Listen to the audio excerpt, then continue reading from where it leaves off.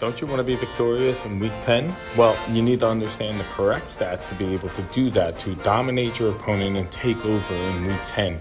Lucky for you, I'm here to help you out with that. So let's talk about it a little bit. We were just in Halloween, but guess what? Now we're over here in Thanksgiving, getting ready for our Thanksgiving slate. But let's be completely honest. Let's go through our Statapalooza here by starting with Alexander Mattison. And it's a shame because we have to talk about Cam Akers. And unfortunately, Cam Akers tore his Achilles. But does this reopen an avenue for Alexander Mattison? Let me know in the comments below what you think, but I believe that it does because he's on the field 61.8% of snaps this season. And he has garnered you the fourth highest expected fantasy points for running backs, which and I laugh because like if you have him, you know why I'm laughing. It has not been a good season for him. But he might actually be able to elevate a little bit in the standard because now he has Joshua Dobbs and not Kirk Cousins. And Kevin O'Connell's going to have to bring that offense back. He's going to have to reel it back from being pass heavy and 11 heavy, especially with KJ Osborn out with a concussion, most likely out with a concussion this week he's going to have to run the ball more. So if you have Alexander Mattison and you've been sitting him because he's just not giving you the point you want and garnering the fantasy expectations you need for your fantasy lineup, well, guess what? Week 10 is that week.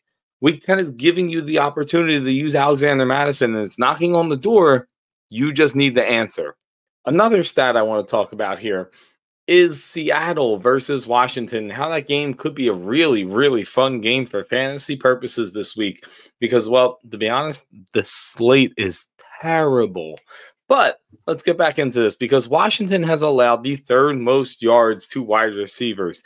They have also allowed the 11th most end zone targets to the position and the third most end zone touchdowns to the wide receiver position. And they have the worst passer rating when it comes to covering a wide receiver. And what do you have coming into town against the Washington Commanders? Well, you just have Tyler Lockett, DK Metcalf, and Jaxon Smith-Njigba, three wide receivers who are extremely talented going up against a cornerback in Emmanuel Forbes, a rookie, which, you know, if you listen to our DFS video before, you want to target rookie cornerbacks. And here's the chance.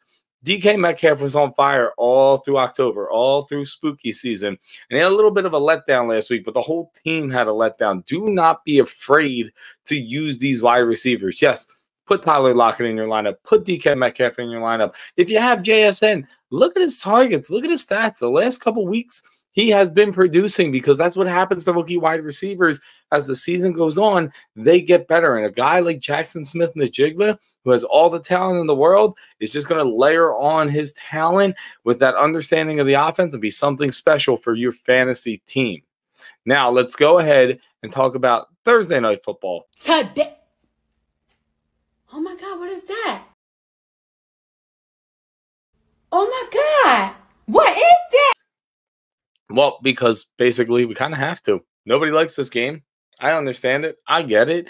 It's the Carolina Panthers. It's the Chicago Bears without Justin Fields. And we have two quarterbacks who love, love to check the ball down all day. As we got Tyson Bagent, right? Tyson? Yeah, Tyson. I always want to call him Taylor, but it's Tyson. He's got the 12th highest check down rate in the NFL. He hasn't even played the entire season. And he has 11.8% of his passes checking that ball down. And then you have Bryce Young on the other side, who has the 10th most checkdowns, whereas he's got 12.7% of checkdowns. So what does this scream? What does this say? Low A dots. Low A dots matter and running backs matter. So if you have Khalil Herbert and he does come back, well, use him. If not, D'Onta Foreman. Roschon Johnson has played himself into being a healthy scratch, in my opinion. So don't worry about him. You do have Chuba Hubbard, who's been very efficient, but if you look at his stats, it's really not that amazing. But just listening to Twitter, he's efficient. And then you look at Miles Sanders, who actually still is in play because they used him with a lot of targets last week. So if you're really hurting at running back, if you have the Dolphins, if you have the Eagles, if you have the Chiefs, and you need a running back and you have Miles Sanders there, I know he has been a dud for most of the season, but don't fret. He has the chance to do something for you this week. Don't expect it on the ground because Chicago's rushing defense has been a lot better. But with the receiving, it's very doable between these two quarterbacks that all the running backs eat in the passing game this week.